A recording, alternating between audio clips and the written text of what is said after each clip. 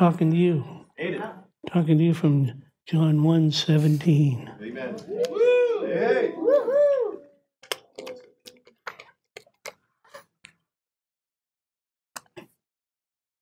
Or maybe we should go back a little further. 117 is good. But I think around 115 it says grace for grace. Pastor Nancy, you can read it for me. I can read it, yes. Yeah. I can. Pastor Shirley was great Thursday night. I know some of you were out to a big meeting over in Bedford, but I encourage you to uh, to go and listen. Not because he picked on Pastor Paul, she picked on Pastor Paul. I thoroughly enjoyed that, but it had nothing to do with that. It had to do with she preached. In my estimation, it was the best message she ever preached in her life. Nice. Amen. I Amen. And what I like about her is who you see is who you get. Amen. Like Shirley, sweet, innocent, totally honest.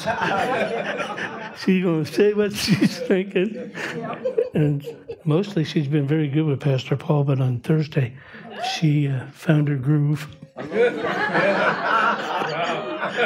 anointing was strong.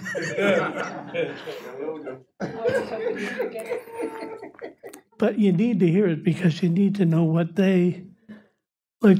Their testimony is amazing. Yes. Like even when we made Pastor Paul to be pastor, Shirley was thinking, how could you make him be a pastor? Yeah. Like, no, because it took a long while for her to walk into that place of forgiveness. That she had to learn that. That she had to learn that God forgave him, but I haven't. and yeah, but now to look at you guys, like you're a living, walking, breathing testimony of the goodness of God Yes.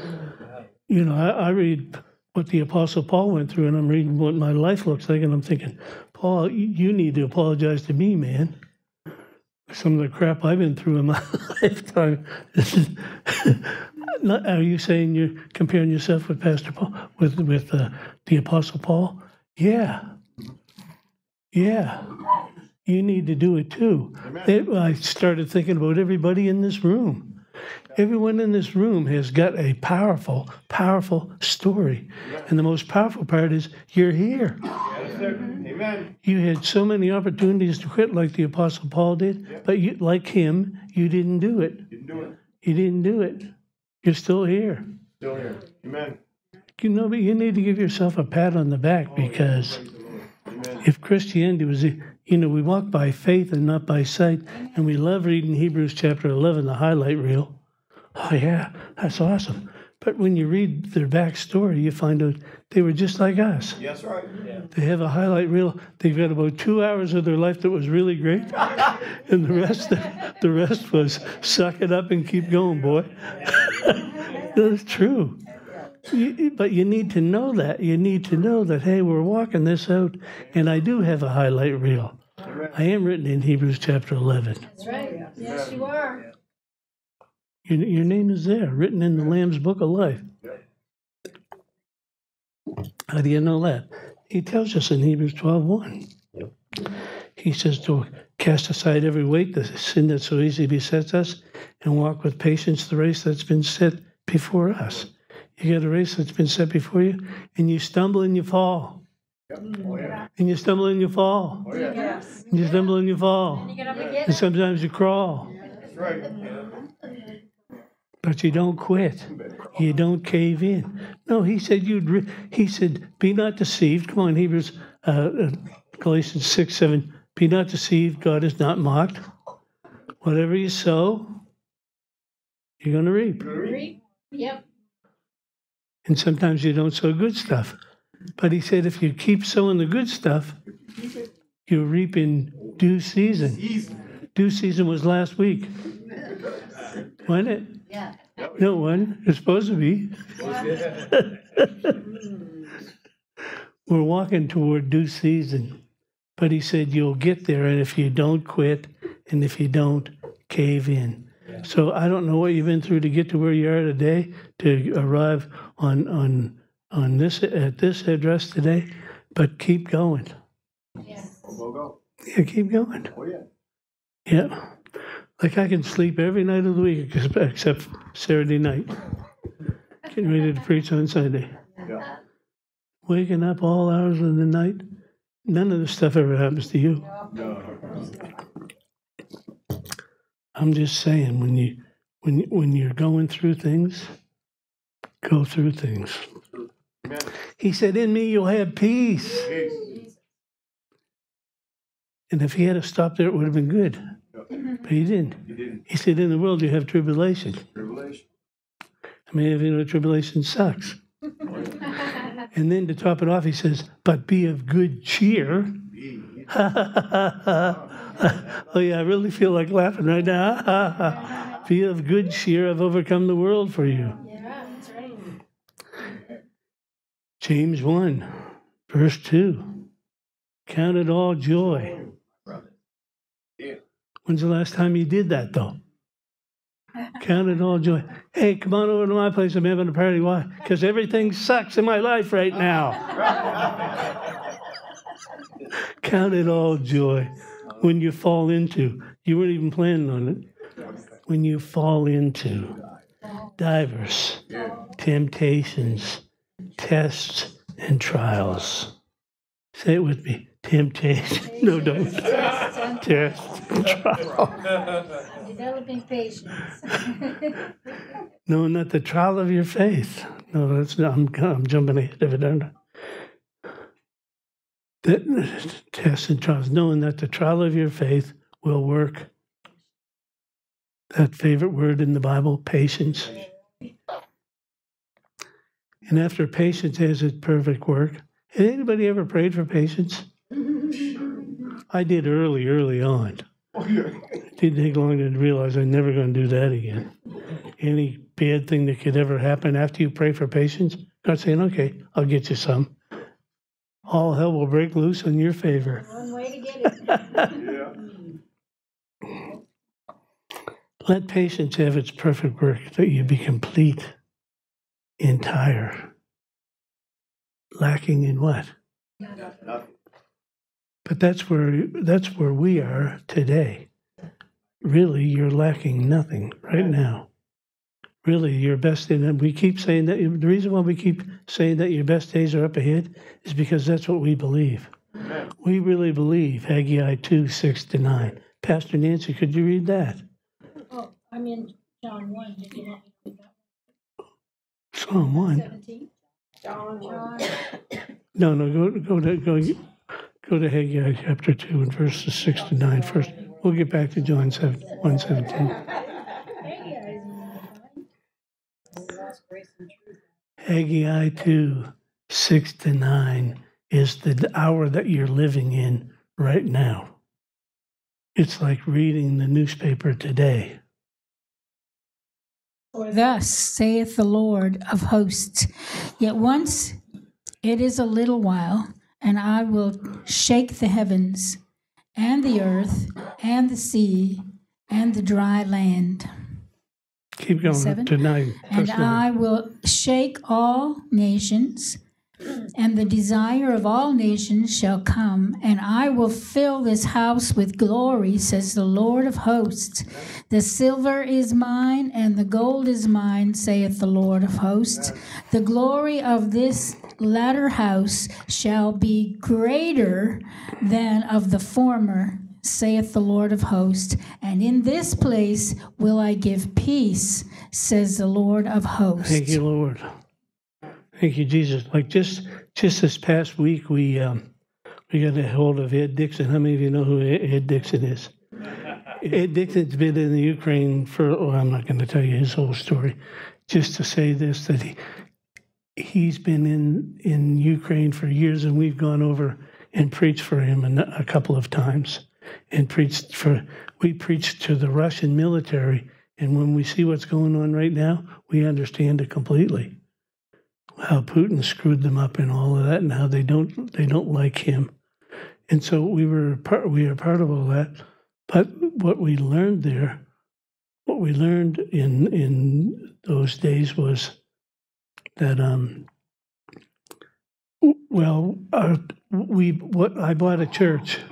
I bought a church Pastor Victor had a church in uh, in outside Kiva Road. We bought it. I bought it on my Visa card for. I, I, I went to one of the meetings and I said, I through the interpreter, I said, "What's going on with Pastor Victor?" And uh, the girl spoke and came back and said, "He's losing his church. He can't pay the mortgage." So I said, "How much is his mortgage?" Twelve hundred dollars. I said, "Do they take Visa?" paid for his church, paid for a church with my credit card. Amen. And then he was looking at a lot next door, and I said, "How much do you want for that lot next door, to, next to the school, so that he could maneuver himself near the schoolyard?" 150 bucks. So I bought a church and a lot, the lot next door for uh, for 1,350 bucks. Lord. Yeah, yeah, yeah, yeah. Then I came back here to the to the congregation and told the congregation, and they paid off my credit card. Well, why am I telling you that now? Because I I contacted uh, I contacted the pastor over there again. I said I want to I want to help Pastor Victor. What can I do? They said, well, he's uh, he he needs 180 100 180 bucks a month. 280. Two, uh, 280 $280 a month to, to stay in operation. He's reaching he's reaching hundreds of people now. That church that we bought, that this church bought over there, is ministering to hundreds and hundreds of people. So I I, I- contacted Ed Dix. I said, I, I want to help. I want to help Pastor Pastor Victor. What can we do? He said, Well, for 280 bucks a month, you can run him debt free and give him enough money to minister all over the all over the area that he's in. So we, you, are now hooked up to him for two hundred and eighty dollars a month. Yeah, but I mean, two hundred and eighty bucks a month here wouldn't get you very far, but over there Yeah. takes you all the way home, man. Amen. So when you pay your tithes and your offerings, you got to know that that we- we've got it activated out there. Yeah. We've got people that are being blessed out there. You know, so read the list of people that we bless every month and be encouraged. Now, where does it say John 117? Yeah, but you really, I think you really need to read verse 14. And the Word was made flesh. It's Jesus. The Word was made Jesus. and dwelt among us. And we beheld his glory, the glory as of the only begotten of the Father, full of grace and truth. Full of what? Grace and truth. Grace no, but most of the church doesn't even know that. Yeah. The church is still the judgmental God out there coming to get you. He came to get you with grace and truth. Continue reading. John bare witness of him and cried, saying, This was he of whom I spake. He that cometh after me is preferred before me, for he was before me. And of his fullness have we all received, and grace for Grace. grace, For And- grace. grace for grace. Verse 17. For the law was given by Moses, but grace and truth came by Jesus Christ. The law came through Moses. And so many of the church world live under that law, Yeah. not realizing that we're, we're, we're not under the law. Matter of fact, we've been redeemed from the curse of the Lord Christ being made a curse for us, that the blessing of Abraham would come upon us. Yes. So we're living in this this amazing grace. People are still stuck under the law of Moses. Yeah. The law came. All you need to to if you if you just read Galatians three twenty four, it says that it no, it says the the law is our schoolmaster. So the law, when you read the the law, what it's supposed to tell you is, you can't do this. Right. Right. Stop trying to do this. Stop trying. Stop trying and dying. Stop trying to live that. The schoolmaster. the schoolmaster, the school teacher says, You can't do this. You can't keep the Ten Commandments. Matter of fact, you can't even get through this whole day today without messing up. It'll be re- let try unless you go home and go to bed and, go to sleep, you won't make it through the day. But when you understand the grace and the truth, grace and truth came by Jesus.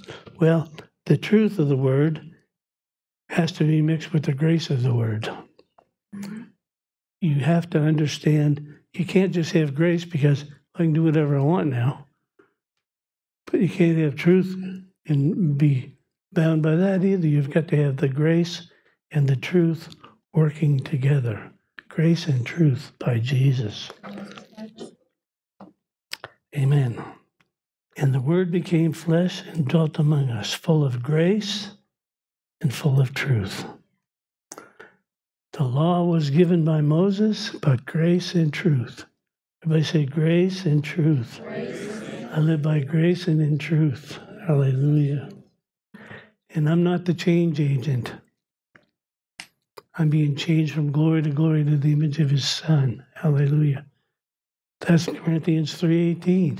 We are being changed from glory to glory to the image of Jesus. What does that mean? Well, it means you accept the things that you cannot change, you change the things that you can, and you have the wisdom to know the difference. right? That's what they taught us in AA. I remember walking into AA and there was a sign on the desk and it said, This too shall pass. Amen. That's all I needed at the moment. Yeah. Thank God. That was it. Grace and truth. Hallelujah. It's just too bad that the people that we sat with never ever got Yeah. the truth.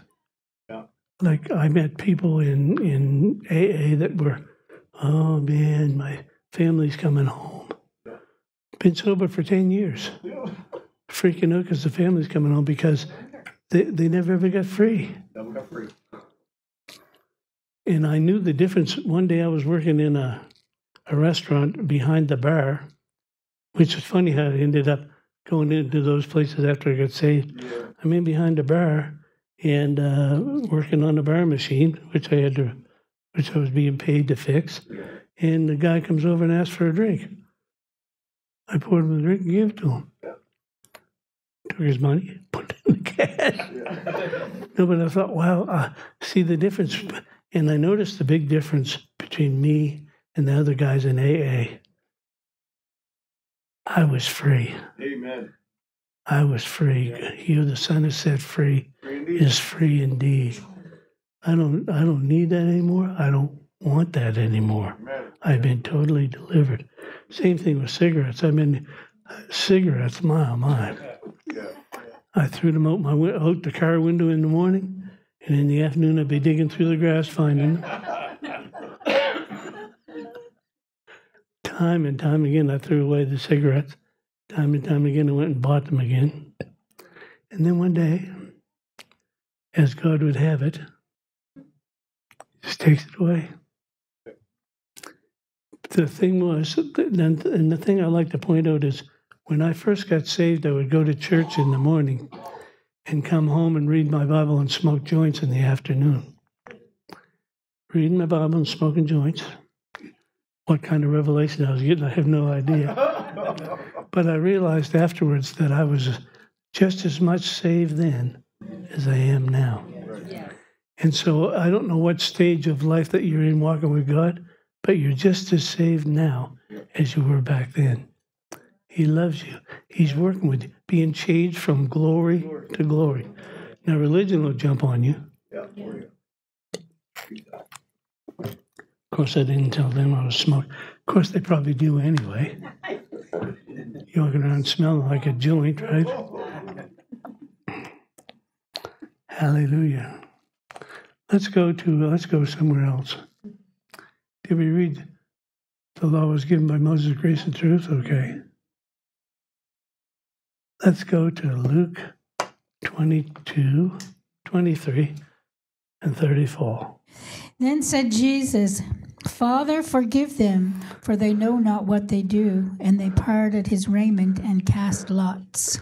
Okay, I want to talk about I want to talk about that forgiveness because now we need to go to uh, Matthew 18, verse 22. Because in Mark, you know, Shirley, Pastor Shirley brought this up on on uh, Thursday night, and it's vital. If it, when you stand praying, if you have aught against anybody, forgive them. And when you think about Mark 11, 23 and 24, who's, whosoever say this mountain, be removed. Cast the don't do it in your heart. Believe the things you say will come to pass. You'll have whatsoever you say, right? Whatsoever things you desire when you pray, believe and you receive them, you shall have them. Okay, but then it's the next verse. If you have aught against anybody, anybody, you have to forgive them. And forgiveness is such a key thing because it's the first thing that Jesus said on the cross. Not the last thing, not the middle thing. The first thing he said was, Father, forgive them. They don't know what they're doing. So, forgiveness, if it was the most important thing that he said on the cross, it's the most important thing for you and I also to forgive people. And it may not be the easiest thing to do, but it's the necessary thing. And even when you think of the word forgive, you look it up in the in the Anglo-Saxon word is to give first. Be the first one to give in. Amen. Yeah. To give it. Yeah. And so how many of you here have something against anybody right now? Could I just see a show of hands?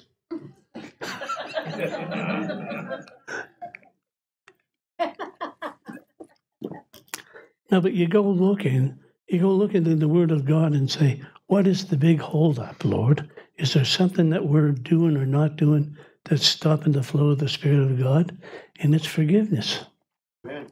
holding grudges. I'll forgive you, but I'm never ever going to forget. When I think about what the Lord forgave me for, Amen. Hey. Mm. I'm going to hold anything against anybody. Now, maybe maybe some of you weren't the village idiot like I was, but to get forgiveness, if you have it out against anybody, forgive them. So, in uh, Matthew 18, 22, uh, 22, I think. Yeah. Jesus said unto him, now he's talking to Peter, uh, and he said, Jesus said unto him, he, he should forgive till seven times. Jesus said unto him, I say not unto thee until seven times, but until seventy times seven.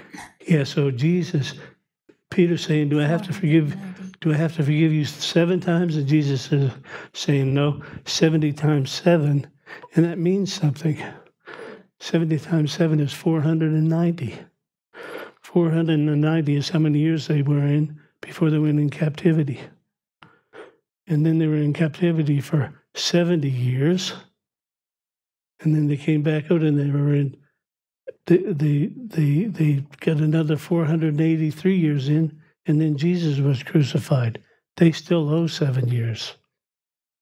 But the forgiveness is the key. How many times should i forgive? God said you need to be like me. 70 times 7 70 times 7 i worked with you for 490 years before i let you go into captivity. Now you go and do thou likewise when you stand praying, believe that you've received. When you stand praying, forgive.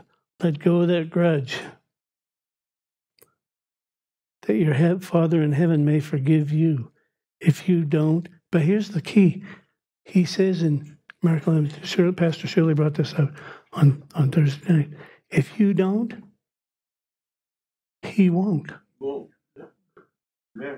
Now think about it, think about it, think about it. If you don't forgive, he won't forgive. It's it. I didn't say that. It's in red. Jesus said that. That's why when he took the disciples said, "Oh, Jesus, teach us how to pray." He said, "Our Father who art in heaven, hallowed be thy name. Hallelujah. Thy kingdom come, thy will be done on earth as it is in heaven. Give us this day our daily bread, and forgive us our trespasses as? No, but unforgiveness is crippling the church in North America, totally crippling the church. Not us. So 490 years before captivity, 70 years in captivity. Hallelujah. It's not hard. Just do it and be done with it. Let's go to Daniel chapter 9. We're moving in there. And they accepted our agreement. Yeah, signed lease. Yeah, but the funny thing about the funny thing about moving into Hooper Lane, they changed the name of the street to Hooper Lane. But what you don't know is that 58 years ago, I got kicked off of that property and told never to come back. 58 years later, they changed the name of the street to Hooper Lane. Now, I didn't know that when they were giving me the boot. 58 years ago. You see, we look at time. God doesn't have a watch. He said, To everything there is a season. You can throw your watch up in the air. I've tried it a few times over the years. Throw your watch up and say, Here, if you could catch this, you'd really help me out a lot. None of you have ever been saucy with God, but I have had moments when I was sure He couldn't, He didn't know what time it was. And He would always tell me, No, I don't know what time it is. I have a due season and you're not in it. Oh, oh. But you reap in due season if you don't quit, if you don't cave in, if you don't stop complaining. I said, that must have been Pastor Dancy. Lord, that couldn't have been me. I don't complain. Let's go to Daniel chapter 9, verse 24. Now, Daniel had been in captivity all that time, and, and now, now he's he's reading the book of Jeremiah and he gets a revelation from the book of Jeremiah. Hey, my time is almost up here. And so let's read this. Was it Jeremiah he was reading? Yeah. Anyway, 70 weeks are determined upon your people and upon this holy city to finish the transgression and to make an end of sins and to bring everlasting righteousness, and to seal up the vision and the prophecy, and to anoint the most holy. Know therefore and understand that from the going forth of the commandment to restore and build Jerusalem until the Messiah the Prince shall be, seven weeks, threescore and two weeks. And the street shall be built again in troublous times. And after threescore and two weeks shall the Messiah be cut off, but not for himself. And the people of the prince, the people of the prince that shall come, will destroy the city and the sanctuary. Now the people of the prince that shall, come, Antiochus Epiphanes, was the guy that was going to come in and destroy everything. And um, no one understand verse 25 again that from the going forth of the commandment to restore and build Jerusalem until the Messiah, the Prince, shall come. will be seven weeks, three score and two weeks, and the street shall be built up again in perilous times. And after threescore and two weeks shall the Messiah be cut off, but not for himself. And the people of the prince of shall come will destroy the city and the sanctuary. Now, Antiochus Epiphanes, I've got a whole teaching on him, and I don't want to get into it. But if you study his life, you'll find out that he was, he was, I guess you'd call him the grandfather of the Antichrist. I've got so much teaching on this, and it would take an hour to get into it. And we used to be able to sit, that's another thing that I've noticed over the years, though. We used to be able to sit and teach Bible for hours and nobody would get disturbed. And these days, the attention span is just not there anymore. Like, you know, get it done and get me out of here because I got, I got life to do. Mm-hmm. After three score and two weeks of the Messiah be cut off, but not for himself, and the people of the prince that shall come will destroy the city and the sanctuary, and the end shall be with the flood. Now Antiochus Epiphanes came in, came in and destroyed Jerusalem. Verse 27 He shall confirm the covenant with many for one week, and in the middle of the week he shall cause. Well, that's why you have to talk about Antiochus Epiphanes. Because he came into Jerusalem and uh, just started destroying pigs on the altar. And that's when the Maccabee brothers rose up and killed him at Christmas time. Like if you want, if you want to know the Feast of Hanukkah, it's all about Antiochus Epiphanes being wiped out by the Maccabee brothers. They rose up and they they had enough of him and they they toasted him. Antiochus Epiphanes. I, we preached that one time in a in a hotel at Christmas time, didn't we? No, but we were we went we had to go to, to a hotel for Christmas because uh, we were in between locations, and uh, the only other people were that were in the hotel were the were the Hmm? Jehovah's Witness. yeah Jehovah's Witnesses. The place was packed full of them. They were all going up and down the halls, knocking on doors, just practicing. And anyway, we ended up in the pool with a woman, and she started talking about, Do you know what Christmas is all about? And I said, Yeah. I said, That's when the Maccabee brothers wiped out Antiochus Epiphanes. She looked at me. She backed up. She wasn't long, she was out of the water and gone.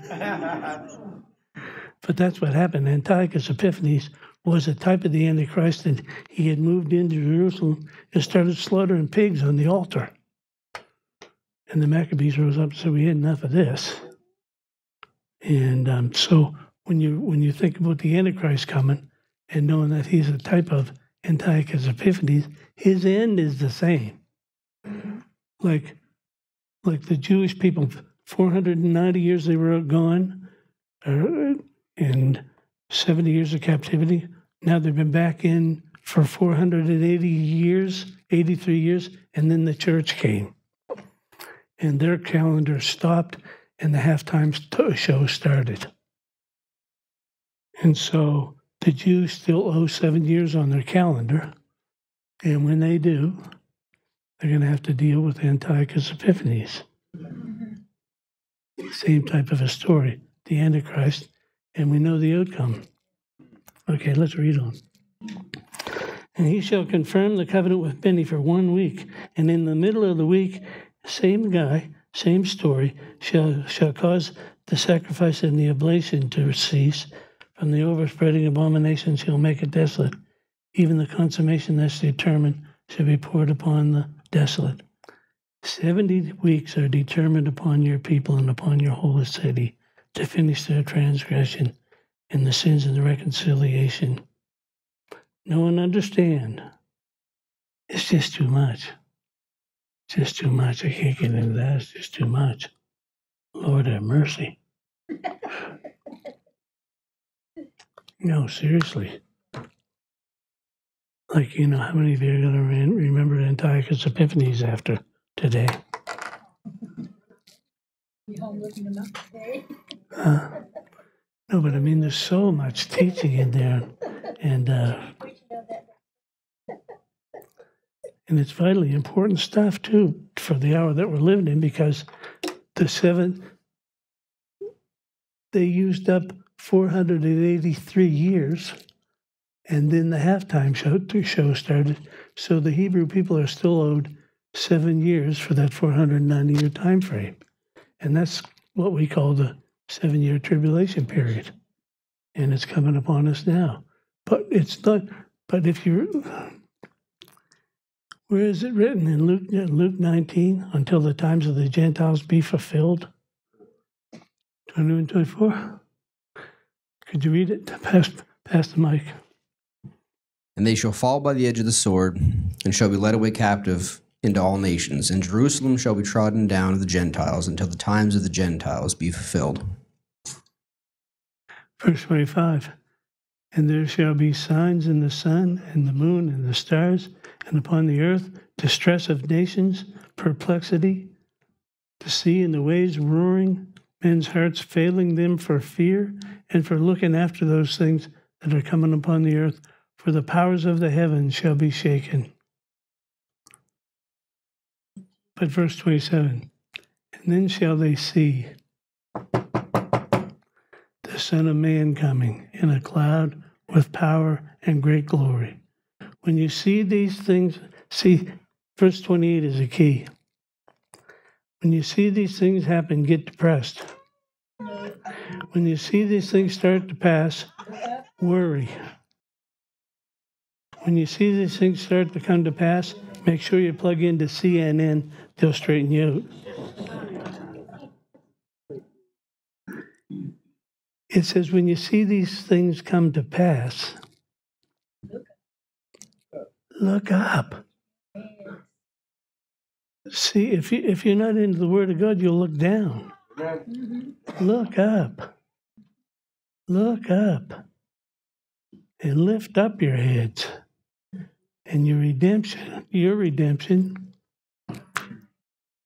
your redemption is close.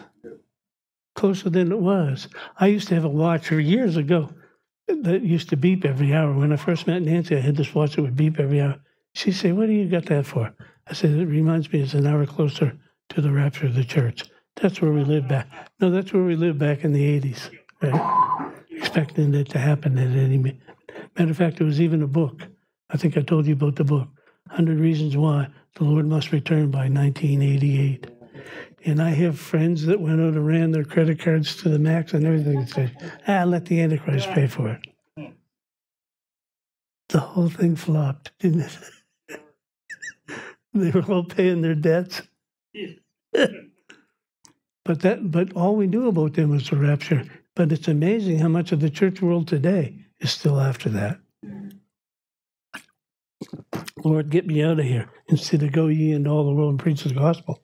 Lord, I just want you to rapture me down. I've got this, I need to escape. No, you need to man up. Amen. You need to get your stuff together. Yep. Go ye into all the world and preach the gospel to every creature, and then shall the end come.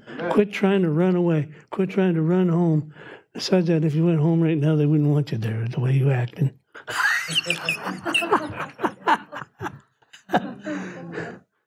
He- no, but he didn't give us a spirit of fear, but of power and love and of a sound mind. And all that is is fear based stuff. Lord, just get me out of here now. Rapture, rapture. It's amazing when you click on the Christian t- the TV channels and how much of it is all rapture based stuff. Oh, he could come in any minute. Not until you straighten up, you sorry thing. Not until you get the gospel. See, if you want to know when he's coming, read Matthew 24 14. This gospel will be preached into, into all the earth. He said, You'll preach this gospel into all the earth as a witness unto me, and then shall the end come. Amen. Preaching the gospel is not, well, you better straighten up, you're going to hell. When I go in the rapture, we're all leaving here. We're going to leave you all behind. Do you ever hear them preach this stuff? We are getting better. Might not look like it to you, but we are. We're still calling those things that be not as though they were. Somebody read that before we go. Romans 4 17 to 21. 17 to 21. Romans 4 17 to 21. As it is written, I have made thee a father of many nations, before him who has believed, even God who quickens the dead, and calls those things which be not as though they were, who against hope believed in hope, that he might become the father of many nations, according to that which is spoken. So shall thy seed be.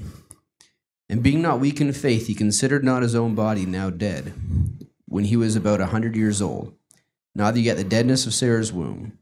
He staggered not at the promise of God through unbelief, but was strong in faith, giving glory to God. And now being fully persuaded that what he had promised he was able also to perform. Amen. What he promised is also able to perform. Can you imagine a man 100 years old believing to produce a child? and we think we're walking by faith. Oh, one more verse, Galatians 3.29. 3.29. Galatians. And if you be Christ, then you are Abraham's seed and heirs according to the promise. I'm the seed of Abraham, and his blessing rests on me. Amen. I'm the seed of Abraham. I'm not moved by what I see. Jesus has made a surety, and that's what I believe. I'm the seed of Abraham, and his blessing rests on me. I don't care what it looks like. You might think I'm too old to have a child. I don't know if he's going to make it. The pastor's going to make it. He's still sitting down preaching. He's been doing that for a year right now. Stay tuned. Amen. Amen.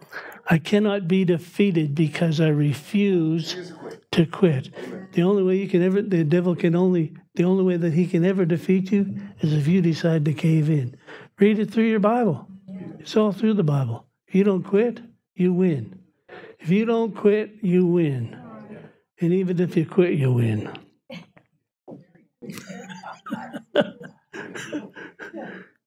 There's no losing with us. Amen.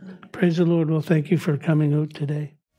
We hope this message has encouraged you in your relationship with the Lord. For more information and ministry resources, we invite you to visit our website at www.newcovenantchurch.ca. We look forward to you joining us next time as we continue to live victoriously.